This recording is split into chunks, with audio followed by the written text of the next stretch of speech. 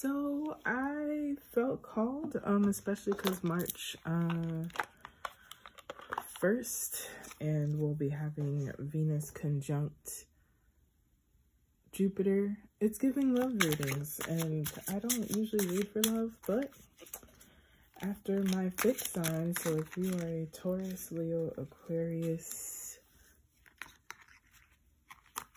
Scorpio, um, this has been inspired by you all. Well, the quickies. So these are for my fixed signs.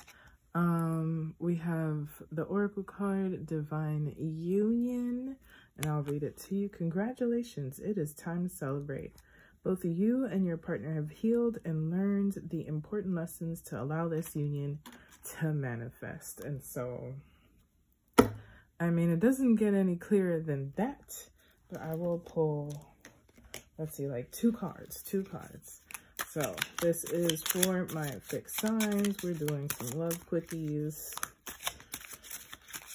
If you, this is for everybody. So singles in a relationship, um, talking to somebody. It might just be that you'll either, as singles, you'll either meet somebody who has divine union energy or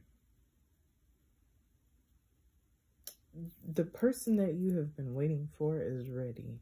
So um, stay open and stay vigilant. Don't hold back if you feel yourself called to be like, let me, let me, let me talk to this person for a minute. Um, if you are partnered up, it might just be like, if it's a healthy relationship, that is the caveat. Okay.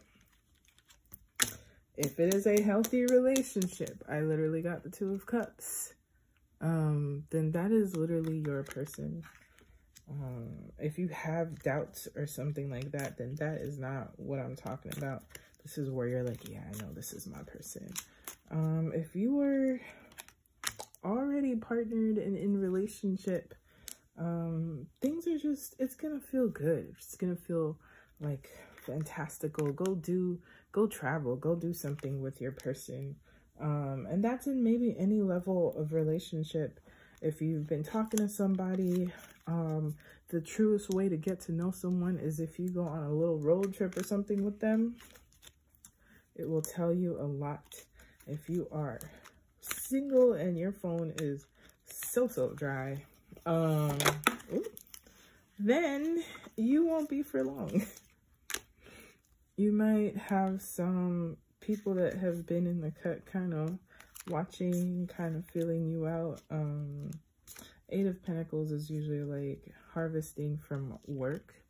So you might meet them at work or in some kind of function that you went to either network or do something like that. So please leave your house if you are looking for love. And that is all I am giving y'all. So Divine Union, I don't think it gets any better that, than that. My very fixed friends. And so there you go. Definitely for Venus and Jupiter, Sun, Moon, Rising, but definitely Venus and Jupiter signs as well.